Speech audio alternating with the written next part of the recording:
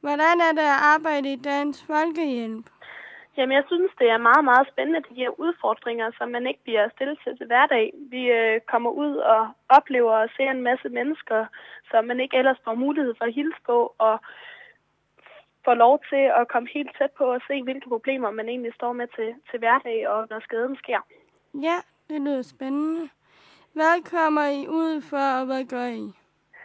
Jamen, hovedsageligt, der er det heldigvis kun mindre skader, det vil sige forstuet arme eller ben, eller nogle led, der lige har været ude en tur eller noget. Okay. Men vi må ikke sætte dem på plads, men vi må hjælpe med dem og give noget køligt, eller give en bandage på, eller det lignende. Men en gang imellem, så sker der de her lidt større ting, hvis en har fået en, en blodprop, eller en hjerneblødning, eller et stort sår ind, hvor vi så bedre kan hjælpe og sørge for, at der kommer noget hurtig førstehjælp til dem, og så få sendt dem ind på, øh, på sygehuset med en ambulance, hvor de så kan tage den yderligere behandling. okay. Så det handler meget om at få skaden sat, sat så meget ned, som det nu er muligt ude på skadestedet, i stedet for at først vente til, at den egentlig kommer ind på sygehuset. Ja.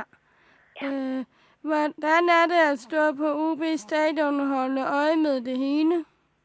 Jamen, jeg synes, det er rigtig, rigtig spændende. Man får jo lov til at komme ind og se, hvordan det hele egentlig fungerer bagpå, i stedet for, at man bare kommer ind som tilskuer, som man normalt vil gøre. Men man ser også, eller får et stort overblik og ser, hvordan nogle skader egentlig sker, og kan derfor også se, hvordan det vil være lettest at hjælpe den enkelte person. Så øhm, det er udfordrende og sjovt og spændende på mange punkter. Og så er man jo i nærheden af en masse festglade mennesker, som alle sammen er samlet for at hylde OB, i hvert fald på OB's tribuner. Ja, Øhm, så derfor så er der jo meget, meget glæde derude, så det er altid en fornøjelse at stå til. hvad har I været den største oplevelse i forbindelse med Dansk Folkehjælp? Den største oplevelse for mig, det har, øh, jeg har været set mange store sorger sådan på den måde, men det største, det er nok, når man kan hjælpe de små børn.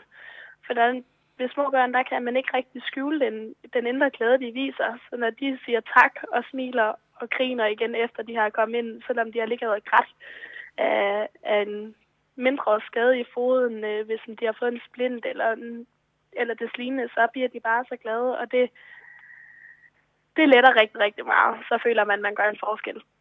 Okay, tak fordi jeg måtte interviewe dig, Trine. Det var så lidt. Kan du have en god dag, Dina? Tak og lige måde. Hej. Hej.